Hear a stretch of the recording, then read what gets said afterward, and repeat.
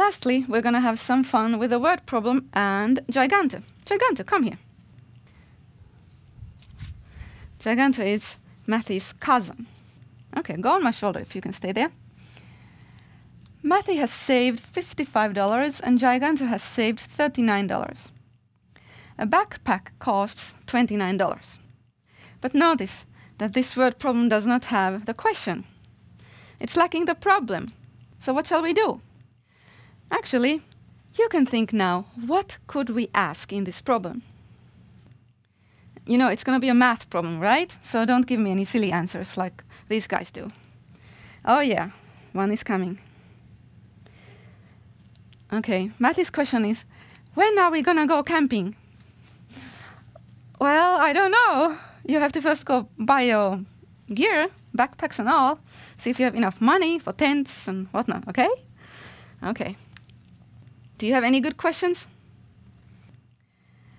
It is three different numbers, so we could add and subtract and, you know, all kinds of stuff. I'll give you one. Let's say that uh, Mathy has saved $55 and Mathy goes to buy a backpack. So how much money will he have left? after he buys that backpack. He has saved 55. It cost 29. How much will he have left?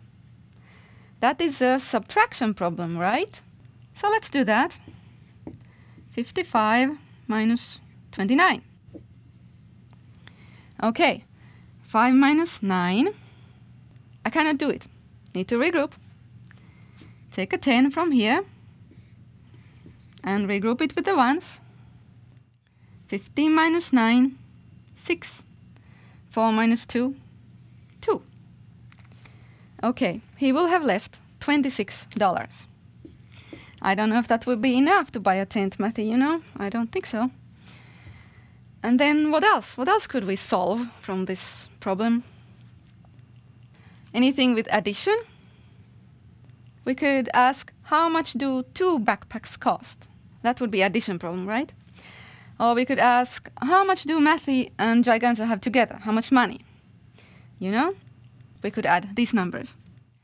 Or we could ask, um, maybe we use this. After Mathy has bought a backpack, then how much money do Mathy and Giganto have together? How about that one? Mathy has 26 after he bought the backpack.